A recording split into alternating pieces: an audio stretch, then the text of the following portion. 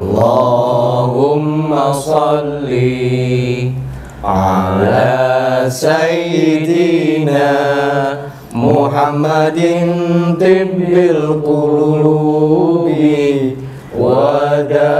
ودوائها وعافية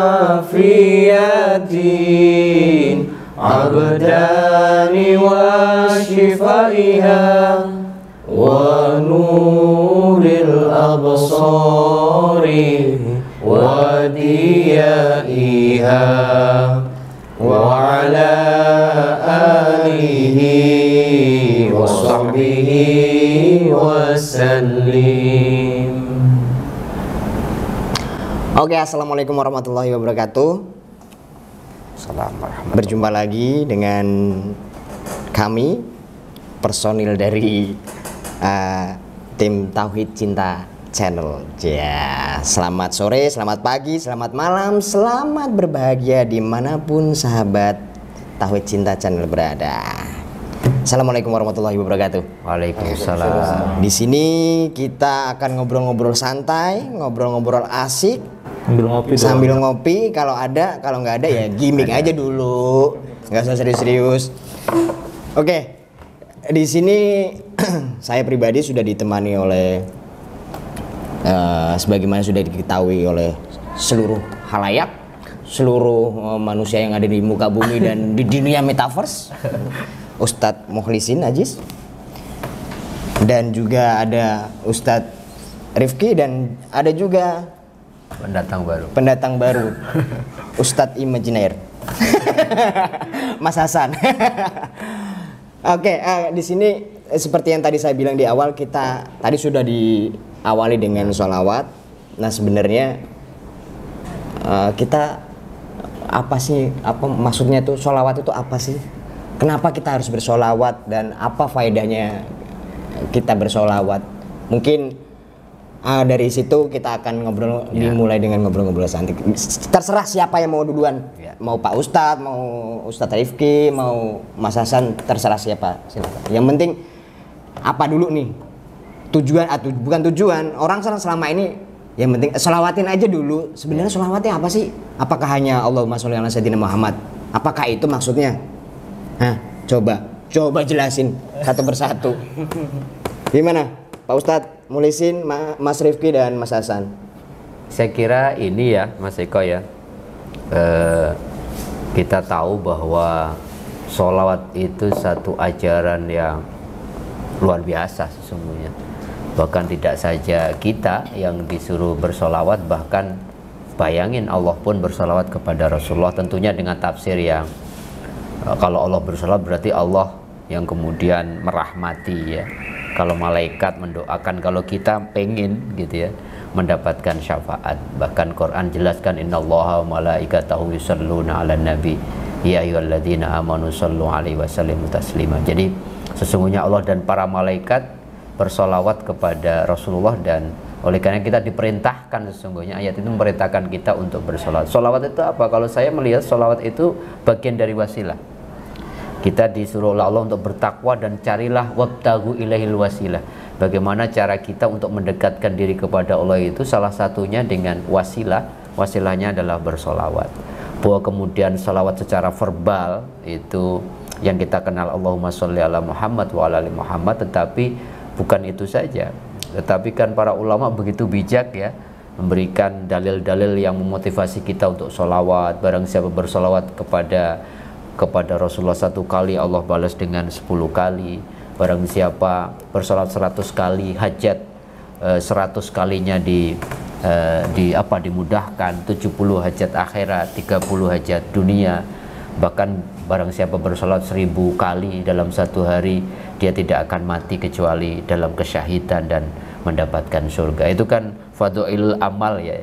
Tetapi kemudian mestinya kita memaknai salawat tidak hanya sekedar itu eh, paling tidak harus kita tingkatkan lah pembacaan kita tentang sholat bagaimana kemudian sholawat itu paling tidak menjadikan kita punya keinginan untuk lebih mengenal kepada siapa sih kita ucapkan salam itu kepada Rasulullah jadi membaca sholawat sesungguhnya bagaimana kita punya komitmen mengenal Rasulullah itu siapa? Ya saya selalu mengatakan dalam setiap maulid Nabi Mas Eko, ada jamaah yang datang gitu. Saya cuma tanya, kita ini solawatan memperingati maulid setiap tahun. Saya mau nanya, di rumah ada yang punya buku biografi Rasulullah nggak gitu? Ya. Dan ternyata nggak sampai 10% yang punya. Hmm. Bagaimana kemudian kita baca solawat tadi kita awali dengan kekhusyuan, dengan kemudian menitihkan air mata, kecintaan kita tumbuh. Kita nggak kenal siapa Rasulullah. Ya, teman-teman milenial kita gitu mm. lebih hafal itu. Yeah. Kita sebutin artis-artis Korea gitu. Yeah. Artis-artis idolanya dua lembar kurang gitu. Tapi disuruh nyebutin sifat-sifat Rasulullah, sahabat Nabi kadang-kadang tidak tidak muncul. Sehingga komitmen pertama menurut saya selawat adalah komitmen diri untuk mengenal siapa Rasulullah sehingga ya kalau sudah kenal berarti kita tumbuh rasa sayang dan ya. kalau udah sayang itu ekspresinya kan bukan kata ya. jangan kau tunjukkan sayangmu sekedar kata ya. tapi oh, tunjukkan uh. dengan perbuatan gitu berarti Solawat itu uh, mengenal ya, mengenal, mengenal mengenal sosok dari Rasulullah itu sendiri. Tadi juga Ustadz bilang uh, wasilah. Sebe wasilah itu sendiri apa? Gitu? Perantara. Gitu? Oh perantara, media, media, media. berarti media. Kita bisa berwasilah dengan amal soleh, berwasilah dengan doa, berwasilah dengan sedekah kalau orang sakit itu wasilahin dong gitu. Maka kata-kata solawatin itu sebenarnya solawat di situ bermakna wasilah dengan syafaat, dengan karomah, dengan fadilah solawat mudah-mudahan anak saya yang mau ujian lulus, yang sakit disembuhkan. Karena apa keagungan Rasulullah kita tahu kan Kanjeng Nabi itu secara historis memang lahir tahun 570 571 yeah. tetapi Nur Muhammad itu adalah pertama kali makhluk yang diciptakan Allah. Dari situ seluruh makhluk ada. Jadi memang dahsyatnya itu uh, Rasulullah itu luar biasa. Gitu. Jadi kalau sudah kenal Nabi solawatnya berubah mengenal Nabi mencintai Nabi dan nanti akhirnya Mas Eko sholawat menjadi bermakna ketika kita menjadikan Nabi sebagai role model uswatun hasanah dalam kehidupan kita sehingga sunnah-sunnahnya bukan sekedar kita kenal tapi kita praktekkan dalam kehidupan. Tak kenal maka tak sayang. Ya. makanya kita harus mengenal. Saya saya tuh menulis buku tahun berapa ya? 2012 Uh, buku. Judul judul film di 2012. kiamat. Kiamat. kiamat. Judulnya Think Muhammad. Dia lebih uh, dari yang kamu tahu. Uh, apa? Dia lebih dari yang kamu tahu gitu. Ya kira-kira intinya di dalam buku itu saya menulis tentang daftar atau list kenapa sih saya cinta kepada beliau gitu kepada Rasulullah Shallallahu Alaihi Wasallam. Uh, yaitu tentu saja sangat personal ya ya bisa jadi gitu bisa juga apa namanya ini buat pancingan juga buat pembaca gitu misalkan ya masing-masing dari kita sebenarnya bisa membuat list masing-masing gitu ya bahwa apa sih yang membuat kita begitu jatuh cinta sama Rasulullah. Ya jangankan uh, apa namanya bagaimana kita mau jatuh cinta kalau kita nggak kenal tadi kan Ustadz bilang kayak gitu. Nah ya paling tidak uh, saya menulis buku itu untuk saya sendiri minimal gitu. Saya membuat list saya membuat daftar apa sih yang membuat saya begitu jatuh cinta walaupun kadang-kadang jatuh cinta tuh nggak butuh alasan ya. Yes. Yeah. so sweet banget. umur umur. ya tapi kalau saya pribadi masih masih perlu untuk menuliskan alasan-alasan itu. Paling tidak untuk memperkuat, memperkokoh apa dan juga untuk bagaimana menekankan pentingnya tadi ya. Kan Rasulullah dalam hadisnya bilang ini apa namanya? Uh, ada inna mubu'istu liutami mamakarimal akhlak ya bahwa aku diutus untuk apa namanya memperbaiki akhlak kalian. Ya bukan kita diminta untuk bagaimana cuma beriman juga cuma apa namanya beribadah segala macam tapi ujungnya adalah akhlak gitu. Nah dari list-list ini ya bagaimana uh, saya pribadi gitu mencoba mengaplikasikannya dalam walaupun tentu saja pasti jauh dari apa yang apa namanya akhlak mulia dari Rasulullah karena begitu mulia sehingga apa namanya ya nggak mungkin lah kita paling tidak saya gitu untuk menandingi bukan bukan hanya menandingi sejajar pun nggak mungkin gitu apalagi menandingi gitu.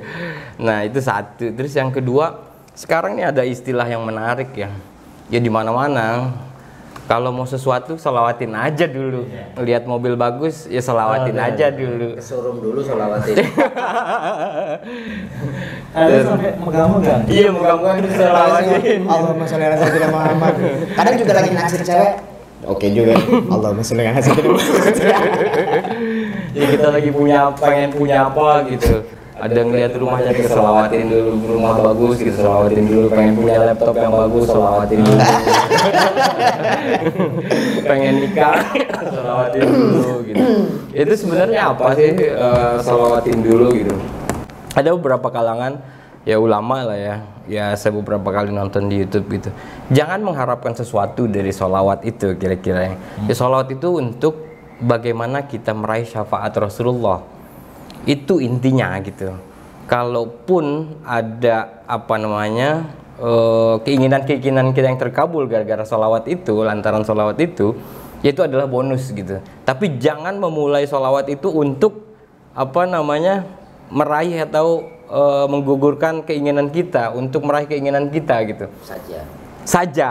Ya karena jadi rendah posisi selawat kira-kira gitu ya tapi kalau saya sih berpandangan agak lain ya. Karena solawat kan satu akar kata dengan sholah. Ya bahkan apa eh, jamaknya. Terus sholat sholawah gitu. Adalah artinya adalah doa. Ya dalam sholawat itu sebenarnya juga terkandung doa gitu. Bahwa kita kenal dengan Rasulullah, kita begitu cinta dengan Rasulullah dan kita berusaha untuk apa namanya eh, meneladani akhlak beliau gitu ya. Ya itu kan juga bagian dari doa sebenarnya ya. Dan ya ketika keinginan kita ingin sesuatu dan membacakan sholat apakah salah? Kan enggak juga. Ya sama kayak kita misalkan kita pengen sesuatu gitu terus kita berdoa. Kan nggak salah kalau kita ingin sesuatu berdoa. Ya kan jelas dalam apa namanya Al-Quran iya karena Abu dua iya karena stain kepada Allah kita apa bernyembah dan kepada Allah juga kita minta pertolongan gitu. Nah seperti kata Pak Ustadz tadi ya Rasulullah ini bisa menjadi wasilah gitu kan wasilah kita perantara kita untuk menuju Allah kadang-kadang kan eh, kita nggak bisa langsung ya kalau ada apa namanya kalau istilah politik kan dari satu yang dua Kita butuh messenger lah mengantarkan Iya, pesan. kadang-kadang gitu. kadang-kadang kita nggak bisa langsung ke ring satu Iya, iya. harus lewat ring Lewat tiga ring- staf khusus dulu. Iya, staf khusus dulu segala macam tapi ada yang tentu saja bisa eh, langsung ke apa namanya bahkan bukan ring satu lagi tapi kepada si apa kandidat atau calon apalah presiden atau calon kalau dalam konteks politik Iya, iya, iya. Ya, ya begitu juga dalam konteks ini gitu eh, salawat gitu nah jadi ya menurut saya ya kalau kita punya keinginan salawatin ya lebih bagus daripada kita punya apa namanya punya keinginan terus kita nyanyi doang. Ya tentu saja nggak cukup dengan salawat Iya. artinya kita harus ikhtiar kita kerja kita usaha. Ya ya karena apa namanya ya dalam buka ya tentu saja doa itu adalah bagian dari kita apa eh, ini. Tapi juga ikhtiar atau kerja atau apa namanya berusaha itu juga bagian dari doa gitu nah itu jadi saling menguatkan gitu sih. Nah kalau saya melihat itu jadi kalau apa eh, kita solawatin dulu aja makanya tadi kita mulai dengan eh, solawat gitu ya. Ya karena luar biasa ini. Ya mudah-mudahan solawat kita di awal tadi bisa mengetuk pintu langit. Amin. Kalau kayak gini udah selesai. Udah selesai sepertinya udah selesai. Dan obrolan ini ya mendingan kita bubarin aja. Tapi nggak, itu menarik gitu. Kalau kalau dari kacamata Mas Hasan sendiri seperti apa? Apa eh, melihat eh, bukan melihat, tidak hanya melihat tapi bagaimana memaknai eh, kata-kata sholawat itu sendiri seperti apa? Ya, tadi kan sudah dikatakan Pak Ustadz, Bang Rifki sebenarnya udah selesai. Udah selesai. Jadi kita saya nggak penting ya bertanya gitu ya. Cuma memang masing-masing dari kita punya pemanaan mungkin ya terhadap sholawat itu sendiri. Saya setuju dengan Bang Rifki bahwa sholawat yang sering kita baca, sholawat sendiri itu sebenarnya berasal dari kata sholat.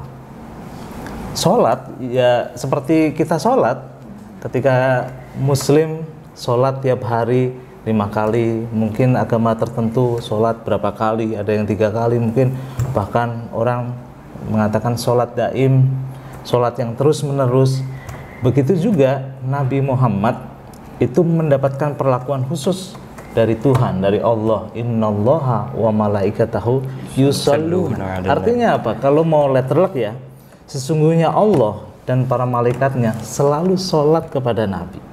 Selalu sholat loh ya. Makanya yusol solawat itu karena dari sholat selalu sholat kepada Nabi. Artinya apa? Kesadaran Tuhan kesadaran malaikat itu selalu tersambung, selalu nyambung dengan kesadaran Nabi. Makanya tidak sedetik pun Nabi itu lupa dengan Allah karena Allah innallaha ma'ana wa ma'akum wa ma'an nabi gitu kan. Sungguhnya Tuhan itu selalu bersama Nabi, selalu bahkan selalu bersama kita. Makanya nggak ada yang terpisah dari Dia. Tuhan dan para eh, malaikatnya selalu tersambung dengan Nabi. Masalahnya kita sebagai manusia itu kan selalu khotok wanisyan, selalu lupa, selalu salah lagi, kadang-kadang ingat, selalu lupa. Makanya Sering sholawat. Sering. Bahkan sering lupa. Bukan cuma itu sering dilupakan. Makanya Curcol lagi. dengan sholawat kepada Nabi sebagaimana yang dilakukan oleh Allah dan para malaikatnya itu sebenarnya kita menyambungkan diri kembali dari keterlupaan itu ketika Nabi itu sebagai role model sebagai uswatun hasanah Nabi yang selalu ingat pada Tuhan. Bahkan kalau kita baca Mas Eko seluruh Al-Quran dari Al-Fatihah sampai An-Nas itu kan sebenarnya penjabaran bahwa Nabi itu selalu ingat pada Tuhan dijabarkan dari Al-Fatihah sampai An-Nas itu. Makanya hulkuhul Quran ahlak Nabi perilaku Nabi karena sadar pada Tuhan kesadaran dia itu diekspresikan dalam berbagai ayat. Itu. Al-Quran yang berjalan. Al-Quran yang berjalan. Ngeri. apa? Living Quran. Nah itu Mas Eko. Makanya dengan kita sholawat kepada Nabi sebenarnya kita merealisasikan kesadaran Nabi sebenarnya itu. Tapi itu sulit Sesu- sesulit hubungan kita Melupakan. Nah, ketika manusia merealisasikan sholawat, merealisasikan kesadaran dia pada Tuhan, maka tadi sholawatin aja dulu, itu benar-benar jadi. Kalau yang dimaksud seperti itu ya, karena dia sang penguasa segalanya kok. Ketika kita nyentuh misalkan mobil, rumah mewah atau apa pun, sholawatin aja. Maksudnya apa? Bukan semata-mata untuk mendapatkan itu, tapi kesadaran kita intens tersambung dengan Tuhan yang dengan kesadaran itu semua yang kita inginkan karena kesadaran itu bersatu gitu. Itu. Itu yang sebenarnya intinya. Mungkin bisa diceritain pengalaman pribadi dan disolawatin Itu nanti aja. Nah, tadi menarik tuh apa eh, tadi juga Ustadz Aji eh, Muhlisin juga bilang, Mas Riku juga bilang terus dipertegas lagi dengan eh, Mas Hasan bahwa sholawatin aja dulu. Nah, itu sebenarnya gimana sih hukumnya ketika kita punya keinginan terhadap benda, terhadap sesuatu yang wah tuh gue pengen banget nih ini sholawatin aja dulu. Nah, nah itu kan kan apa ya? Ya kita bersolawat tapi seakan-akan kita menyandarkan segala keinginan kita itu terhadap sholawat itu. Nah itu kan bergeser bahwa segala sesuatu kan kalau kita apa kita nggak boleh bersandar kepada ke selain selain Tuhan gitu. Nah itu gimana itu hukumnya? Offsetnya itu tadi, apakah solawat kita jadikan yang menentukan mobil terbeli atau tidak, ataukah solawat hanya kita letakkan Al-Baqarah 143 itu, tetap jadi wasilah nggak? Kalau tetap dijadikan wasilah cuman perantara, itu nggak ada bedanya solawat dengan doa, dengan sedekah, dengan baca yasin, dengan baca waqiah, dengan sholat eh, sholat duha. segala macam atau apa pun. Bahkan eh, ketika kita eh, 10 hari terakhir Ramadan yang dikejar Lailatul Qadar para ulama sufistik yang hakikat mengatakan Lailatul Qadar itu makhluk kok bukan Tuhan. Saya nggak penting Lailatul Qadar yang penting dapat Tuhan. Nah, kesadaran yang sangat dalam yang disampaikan Mas Hasan tadi sebenarnya lebih lebih lebih harus kita dorong kepada umat kata-kata solawatin itu bukan sekedar baca verbal solawat tetapi kesadaran itu. Tetapi juga tidak bijak mengatakan orang yang nyolawatin dengan level pemahaman segitu kita kita vonis oleh beberapa ustadz kan mengatakan kita vonis itu syirik dan sebagainya. Maka Al Ghazali itu menarik. Al Ghazali itu kan selalu membagi ibadah seseorang dengan level yang dia tahu gitu. Ada yang awam ada yang khawas ada khawal khawas. Memang Allah dalam surat Al-Bayyinah kan mengatakan wa ma umiru illa liyabudullaha mukhlishina lahuddin Yes. Memang yang ideal tidaklah aku diperintahkan untuk menyembah Allah dengan kondisi ikhlas, murni, tidak boleh untuk alasan apa pun, untuk mobil, untuk jodoh, nggak boleh gitu. Tetapi ternyata para ulama sufistik, Imam Al Ghazali tentang mengatakan, apakah kemudian tidak disebut ikhlas kalau kita tidak sekedar minta Allah tetapi minta surga atau bahkan minta rezeki ternyata itu dalam kategori masih disebut ikhlas. Cuman levelnya berbeda-beda kan selalu begitu. Yang ideal ya sudah saya pengen Allah. Ada orang-orang udah yang penting Allah kan? Kalau sudah dapat Allah kan dapat semuanya. Ya. tapi level kedua adalah orang yang niatnya lillahi ta'ala. Wong setiap niat kan kita selalu ngomong komitmennya kan Sholli fardal maghribi salasa rakaatin mustaqbilal qiblat. Terakhir lillahi ta'ala. Apakah boleh kemudian selain Allah kemudian minta sesuatu yang bersifat ukhrawi?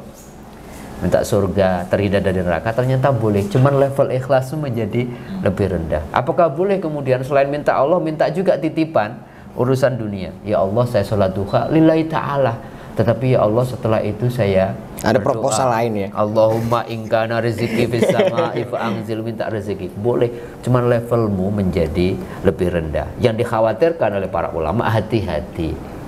Kalau engkau lepaskan Allah dan engkau hanya minta mobil yang kau selawati itu boleh jadi solawatmu tidak mendekatkan diri sama Allah. Kalau mobilnya ternyata tidak kunjung hadir. Malah tidak mau solawat lagi. Banyak orang kemudian tidak mau ber em, sholat duha lagi. Banyak orang tidak mau tahajud lagi. Banyak orang tidak mau eh, meminta istikharah lagi. Ternyata boleh jadi bukan salah solawatnya atau pasti bukan salah solawatnya bukan salah sholat duhanya.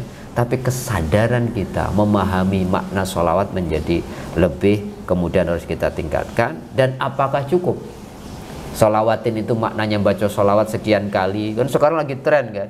Dan itu pasti viral. Amalkan 330 313 kali solawat. Hutang-hutangmu lunas Nah, saya di ijazahin satu kiai di Pare di Jember eh di di, di Kediri pokoknya jangan pernah lepas satu hari satu malam seribu selawat. Insya Allah semuanya mudah. Maknanya kan jangan pernah engkau lost konteks sama Allah kesadaranmu sehingga hidupmu pasti ya kalau dalam bimbingan Allah kan Allah bilang kalau orang sudah aku cintai aku akan menjadi firmannya ketika bicara. Aku akan menjadi langkah kakinya ketika dia berjalan. Aku akan menjadi tangannya ketika dia memegang.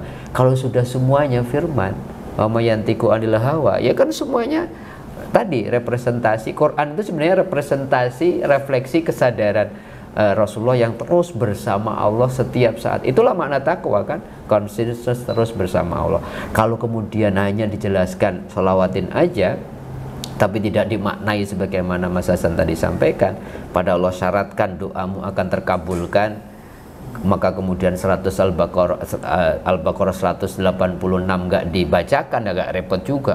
Udah solawatin katanya Pak Ustadz oh, resepnya nggak nggak manjur nih. Padahal kata-katanya harus lima kan. Wa idza sa'alaka ibadi anni fa inni qarib ujibu da'watad da'i da'ani falyastajibu li wal yu'minu nah, kata Mas Hasan tadi itu menarik. Wa idza sa'alaka ibadi anni fa inni qarib. Yang ini lompat ini kalau seseorang bertanya tentang Tuhan, refleksikan dirimu, kedekatanmu sama Tuhan sejauh mana. Kalau kesadaran itu muncul baru angkat tangan, walaupun sudah dekat, ya jangan sombong. Ngapain saya sudah bersama Allah? Angkat tangan, idadaani fal yastajibuli ini yang sering kali lupa. Segera pantaskan dirimu untuk mendapatkan doa-doa, pengkabulan dari doa-doamu. Yang minta mobil kerja yang yang yang yang yang kerja keras, jujur. Kalau mau lulus ujian ya belajar, bukan sekedar baca eh, bukunya dibakar, kemudian diminum. Abunya diminum. Abunya, wah masuk semua. Masuk, masuk. Tapi sering kali yang keempat sudah dilakukan, sudah kerja keras segala macam. Wal yu'minu bi sering kali kita nggak yakin. Saya selalu mengatakan orang yang tidak yakin setelah berdoa sama dengan tanpa sadar membatalkan doa yang baru saja dia ucapkan. Dan kalau itu la'allahum yarsyudun, maka engkau terbimbing memaknai kata meminta atau berdoa atau dalam konteks solawatin aja berarti apa? Baca solawatnya iya, kesadaran membangun kecintaan sama Rasulullah jika iya, bagaimana merefleksikan hidupnya Nabi, Quran tidak hanya sekedar bacaan, penafsiran dan renungan tapi akhlak juga dikerjakan, apalagi yang kemudian tidak bisa kita raih kalau kita seperti Rasulullah. Maka uh, saya selalu mengatakan, maka kalau orang seperti Rasulullah, solawat menjadi keseharian laku kita, kita bisa mencicipi uh, surga bahkan semenjak di dunia. Huh, kayaknya udah selesai deh. Iya udah udah lengkap jawabannya. Aduh. Yang penting kita sholawat lah. Ya kita selamat lagi. Eh, Pak Ustadz, memang ya untuk merealisasikan kesadaran Nabi kan susah ya. Tapi level ter- terendah menurut saya, mencintai Nabi itu penting. Iya. Dan harus kenal dulu. Iya. Karena gini, dengan mencintai Nabi, hati itu tergerak. Iya kan? Hati tergerak untuk tahu Nabi, keluarga Nabi, bahkan kenapa sih Nabi sampai dikenal Ini selalu namanya juga orang cinta kan segala beluk beluk ya ya nah, saya segala baru lima menit nanya aja lagi ngapain? Gitu kan namanya kalau udah mencintai. 10 menit lagi nanya lagi. Udah makan udah makan belum? Makanya kenapa ini jadi tauhid cinta? Karena cinta itu cinta pada Nabi. sumber. Oh. dan yang luar biasa kan Allah sendiri menciptakan manusia kan? Iya. untuk apa? Untuk dikenal karena Allah cinta untuk untuk dikenal. Maka satu-satunya cara untuk mendekati Allah dalam kesan bersama Allah ya cinta tidak boleh dengan motif yang lain. Tapi untuk sampai ke tataran itu kan minimal tadi saya sampaikan ketika kata solawatin kenal Nabi dulu deh. Kalau nggak kenal gimana? Bagaimana kita mau mengenang setiap detik-detik momen kehidupan Nabi. Ada buku yang luar biasa ya, sehari bersama Rasulullah.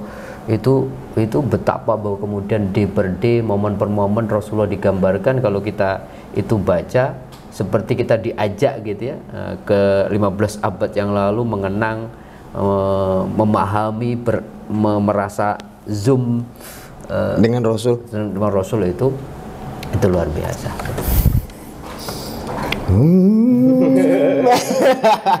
Kalau Mas Rifki gimana? Enggak, saya ingin ngebahas ini mungkin sedikit tentang apa. Kadang-kadang ya seperti lagu Fals itu. Keinginan adalah sumber penderitaan. Ini ini ini penting. Dalam juga ini. Penyair dia penyair.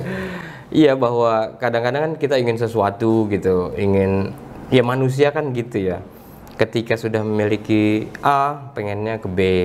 Terus nanti setelah udah punya B, inginnya ke C. Nggak akan habis keinginan kita gitu sebagai manusia. Nah, ya ada lagu tadi itu kan, fals keinginan adalah sumber penderitaan. Ya keinginan yang seperti apa yang menjadi sumber penderitaan? Ketika keinginan itu apa ya? telah menjadi apa tujuan gitu bukan bagian dari proses ya ketika tujuannya itu ya bisa dia sampai tapi prosesnya gimana ya ada misalkan orang yang sholatnya rajin setiap hari gitu tapi korupsi. Itu kan ya tujuan dapat duit banyak gitu loh. Bisa lagi menjabat sebagai apalah gitu misalkan. Sebagai apa anggota DPR atau sebagai kepala daerah segala macam. Tapi prosesnya gimana? Nah ketika proses itu tidak dianggap penting yang penting adalah tujuannya maka bisa menghalalkan segala cara.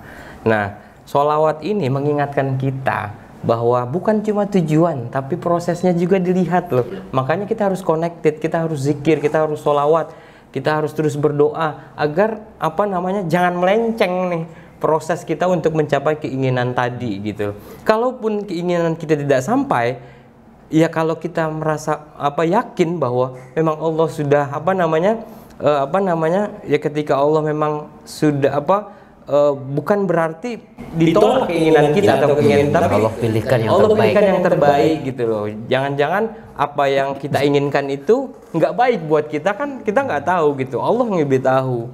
Nah makanya eh, ketika keinginan menjadi sumber penderitaan ya keinginan yang seperti apa dulu ya keinginan yang tadi yang eh, lupa akan proses dan keinginan yang memang apa namanya eh, harus dilihat apakah keinginan itu baik buat kita atau tidak dan eh, apa namanya ya pilihan Allah tentu saja yang terbaik ya buat kita. Nah kadang-kadang kita pengennya Maruk apa aja. namanya juga pengen ya. Namanya juga pengen mata. Semuanya pengen dimakan menjelang maghrib. Eh makan satu biji aja kurma udah Udah kenyang. cukup. Tadi penjelasan Pak Ustadz keren. Karena keinginan kita apa pun itu, kalau menurut saya, uji budak watadda. Iya, Tuhan betul. selalu merespon kok, selalu menjawab, selalu responnya beda-beda masalahnya di kitanya bang, bahwa uji budak wadat dakwat da'i idza da'ani. kitanya tidak fal Ya, yastajibu li wal yu'min. Kitanya nggak pernah merespon pada Tuhan gitu kan. Itulah yang sebenarnya atau kita tidak pernah memantaskan diri pada keinginan itu, psikologinya dinaikkan, Ya. level diri kita dinaikkan sehingga kita tuh pantas. Ya. Kalau nggak pantas ya Tuhan Tuhan secara secara otomatis ya lu nggak pantas untuk dapat ini, dapat itu dan sebagainya. Akhirnya ya kita nggak dikasih. Kalau tidak pantas dikasih itu membebani malah. Istidraj. Malah bahaya. Jatuhnya dilulu dalam bahasa Jermannya. Apa itu dulu? Dilulu itu semua kita melanggar aturan Allah dikasih terus sampai pada satu titik blang, habis. Tapi tiba kita kuliah lagi di KPK. itu dikasih terus dia tidak sadar istidraj namanya. Kita akan maunya bukan itu tetapi menurut saya menjadi menarik ya pembicaraan kita eh, hari ini karena ternyata perspektif pesolawat itu ya memang orang berbeda-beda kita fahami masing-masing umat punya punya kemampuan keilmuan yang berbeda punya kapasitas spiritual yang berbeda-beda. Oleh karenanya ya masing-masing harus kita apa ya kita dialogkan kita kita tidak eh, apa berikan nilai. Karena yang penting tadi itu proses masing-masing orang untuk memantaskan diri yang penting kemudian bagaimana kita punya ikhtiar kuat untuk mencintai eh, Rasulullah dan sekaligus Allah. Saya ingat seorang seorang badui, orang kampung lah itu datang punya kesempatan ketemu Nabi yang ditanyakan nggak main-main. Ya Rasulullah kapan malaikat eh, apa kapan kiamat datang? Ini baru ketemu nih, mumpung. Serius banget tuh kayaknya Siapa tahu Rasulullah tahu gitu. Nabi malah ya namanya ngadepin orang gitu. Emang kamu udah siap apa kalau udah kiamat? Dia mengatakan, saya sih sholat biasa-biasa aja. Puasa saya juga biasa-biasa aja. Tetapi yang pasti saya bisa pastikan saya mencintai Allah dan mencintai engkau. Rasulullah. Itulah hadis anta ma'aman ahbabta itu. Engkau akan bersama orang yang kau cintai. Jadi cinta poinnya. Aduh bikin lapar ya Pak Ustadz. Iya. Nah, Mitat. Tadi kan di awal Pak Ustadz bilang Allah dan malaikat saja bersolawat kepada Nabi. Nah, Nabi Nabi Muhammad Rasulullah bersolawat tidak? Dan kalau bersolawat kepada siapa? Jawab. Saya. Sebelum Nabi bersalawat kan yang salawat Nabi sama malaikat malaikatnya kan. Setan nggak bersalawat kepada Nabi juga. Dan tentunya masih kok salat sama Nabi apa enggak? Iya, iya. Pertanyaannya Rasulullah, Rasulullah sholawat Rasulullah, nggak? Rasulullah Iya, bersolawat enggak? ya artinya maksudnya ketika Allah itu selalu bersambung dengan Ya. Tuhan, eh Allah bersambung dengan Nabi, malaikat bersambung, setan nggak mungkin bersambung dengan Nabi. Berarti Ya saya kan? setan. Artinya Nabi sendiri sebenarnya selalu bersambung dengan Tuhan dong, selalu Berarti- bersolawat. Berarti selalu bersolawat.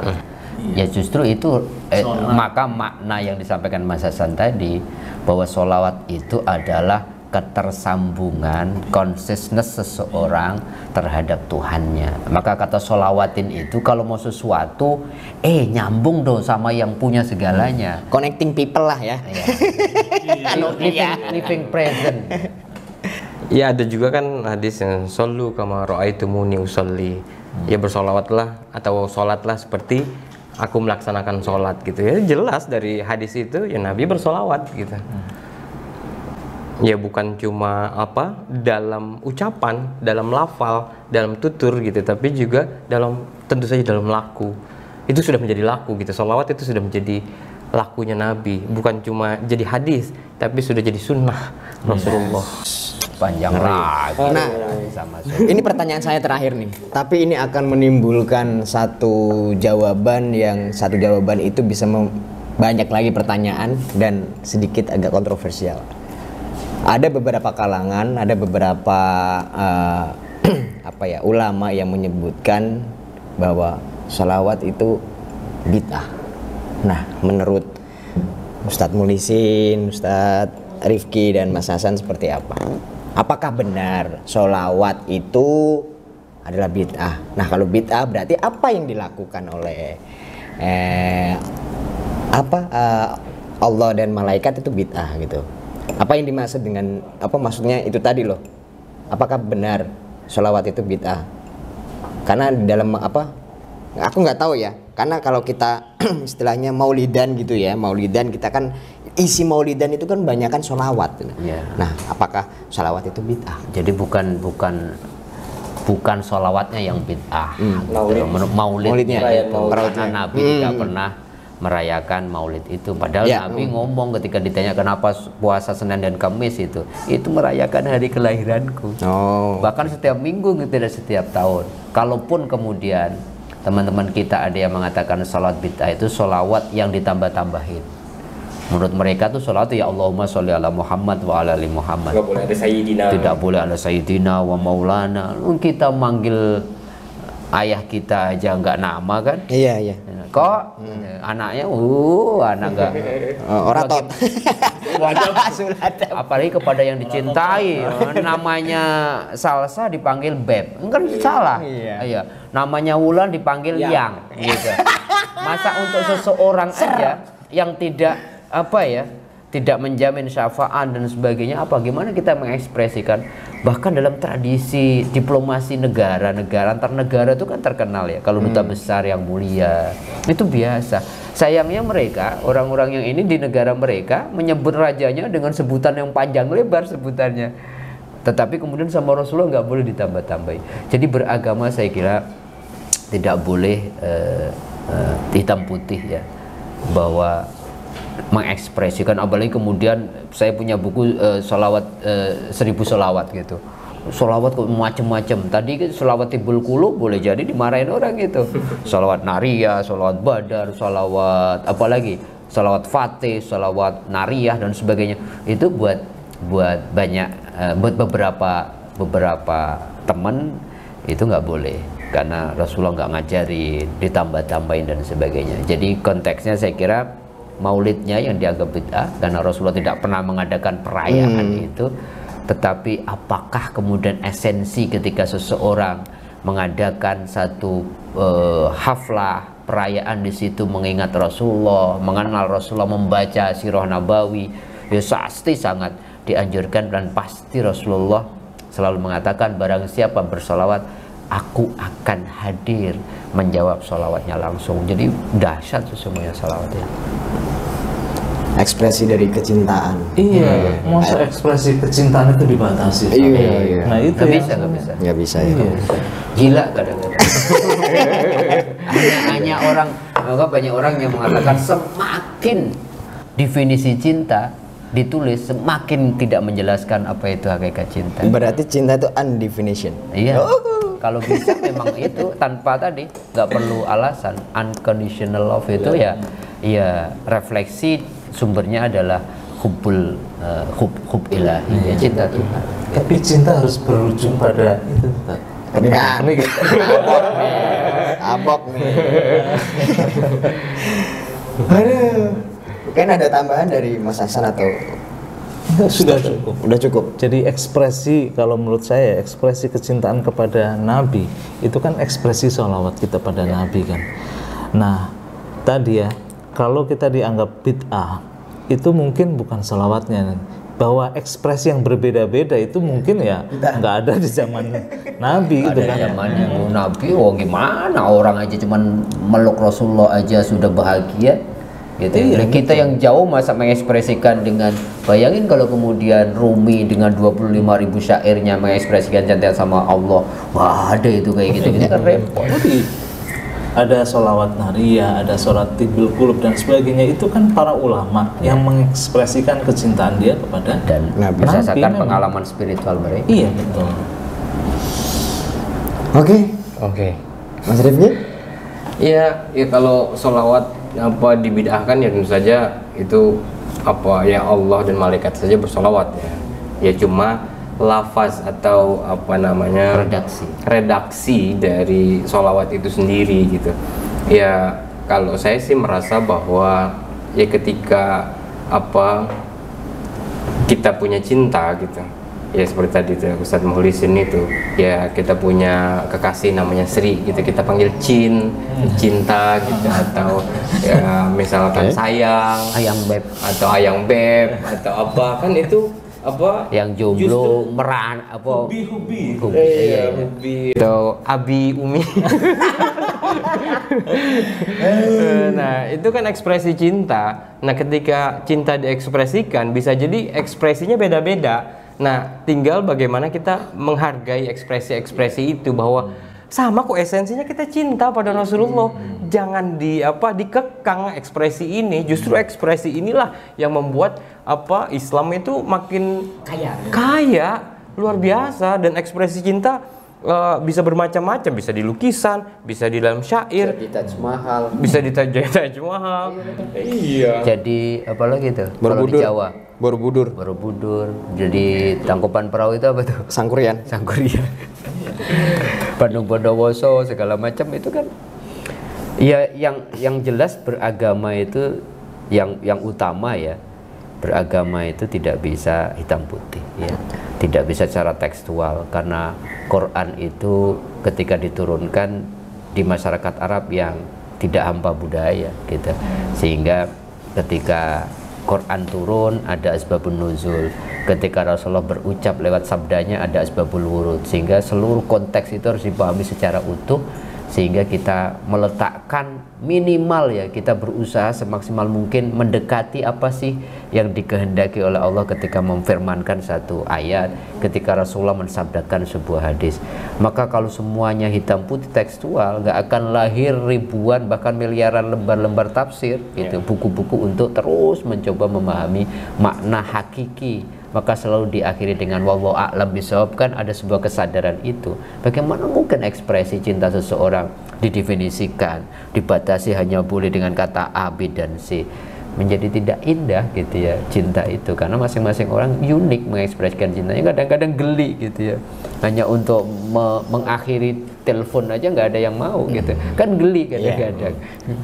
Ini menarik nih kalau lagi-lagi kita dibatasi sama waktu ya.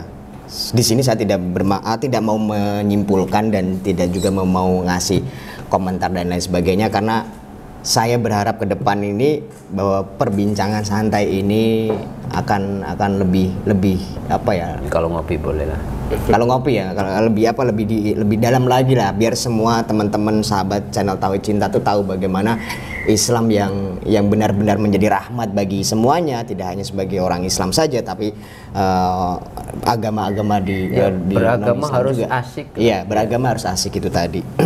karena Tuhan maha asik. Iya, karena Oke juga teman-teman. Beragama melibatkan cinta. karena Tuhan maha cinta karenanya ada tauhid cinta. Oke, oke, ini nggak ada habisnya karena Tuhan menciptakan Nur Muhammad sendiri atas karena dasar cinta. cinta Iya. Stop. Closing statement. Tapi jangan dijadikan sebuah ke- kesimpulan karena nanti ke depannya kita akan ngobrol eh, lebih panjang lagi dengan berbagai tema yang lebih asyik gitu. Dari Pak Ustadz, silakan. Oke, saya kira pembicaraan kita tentang solawatin aja menarik. Solawat tidak boleh sekedar verbal. Solawat adalah komitmen kita untuk mengenal Rasulullah yang akan melahirkan cinta sama Rasulullah. Kalau sudah cinta kita pengen menghidupkan Rasulullah, karakternya, akhlaknya dalam kehidupan kita.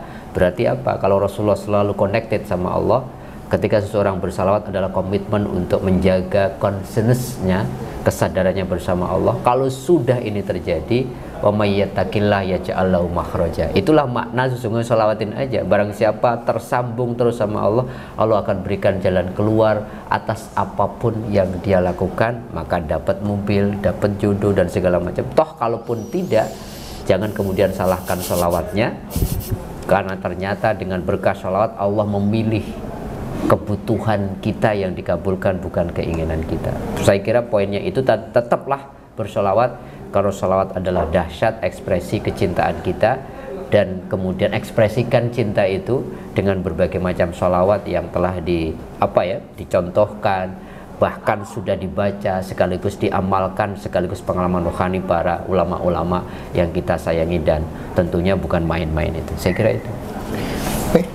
Oke, eh, eh, yang pasti ya solawatin aja semuanya. Iya, maksudnya bahwa ketika kita apa seperti kata Pak Ustadz tadi, ketika kita bersolawat itu ada komitmen. Komitmen bukan cuma komitmen apa ada misi profetik di situ ya. ada komitmen kita terhadap kecintaan kita terhadap Allah dan Rasulullah, tapi juga komitmen kita untuk bekerja keras gitu loh. Eh, dalam apa kalau kita punya keinginan atau ya tadi kan juga beda antara keinginan dan kebutuhan ya kadang-kadang kita ingin sebenarnya nggak terlalu butuh banget ya apalagi sekarang belajar online itu gampang gitu. Pengalaman pribadi ya. ya. panjang lah tapi intinya bahwa eh, ya kita harus tetap connected sama Allah gitu dengan zikir, dengan solawat, dengan apa namanya Wasilah-wasilah yang wasilah-wasilah yang lain dengan murad ah, dan tadarus dengan apa pun lah ibadah-ibadah yang memang apa membuat kita selalu connected, membuat kita selalu ingat akan Allah gitu. Ya karena intinya adalah itu. Ya karena di zaman modern ini kan orang ini ya galau terus. Ya ketika kita berzikir, kita bersolawat itu kita akan insya Allah akan tenang hati kita. Hmm, luar biasa Bang Rifki. Salawat bagi saya sih bagaimana kita menghidupkan hati ya. Kalau Nabi itu Khalilullah, Nabi Ibrahim Khalilullah, Nabi Muhammad Rasulullah, Nabi Muhammad juga Habibullah. Jadi Nabi Muhammad itu adalah kecintaan Tuhan itu sendiri. Nabi Muhammad adalah kekasih Tuhan sendiri. Jadi dengan mencintai Nabi, sebenarnya yang kita hidupkan adalah hati kita sendiri ketika hati kita itu hidup, hidup juga terasa hidup. loh. Coba kalau orang itu nggak punya kekasih, orang itu nggak punya. Mukanya yang sini, mukanya sini. Sana aja ke sana. Kalau orang itu tidak ada sesuatu yang dicintai, even misalkan kita pengen laptop baru, itu sebenarnya ada benih cinta di situ, iya kan? Dan cinta itu mendorong kita untuk memiliki, Laptop. asal asal kita nggak terjebak dalam kepemilikan itu kan sebenarnya itu. Tapi cinta tak harus memiliki juga. Oh enggak. Berat.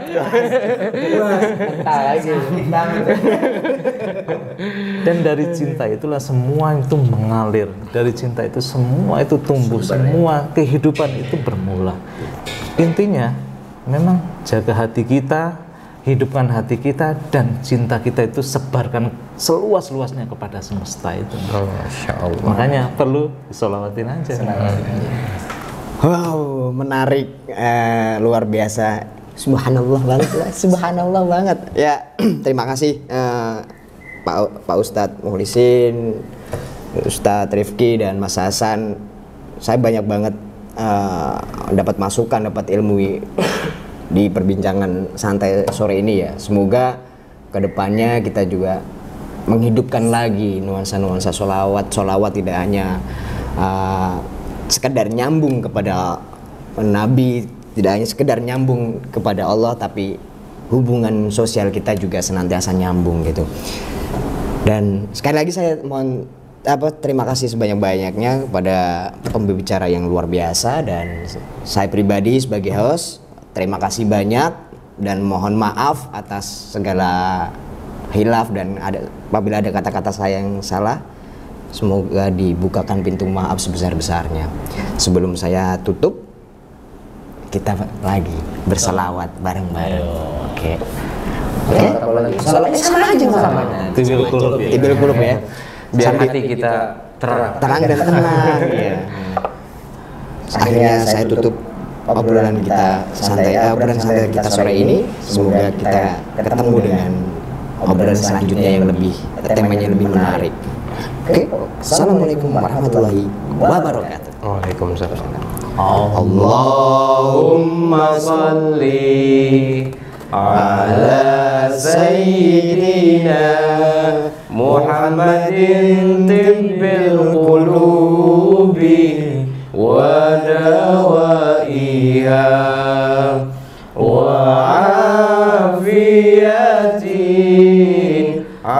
الأذان وشفيها ونور الأبصار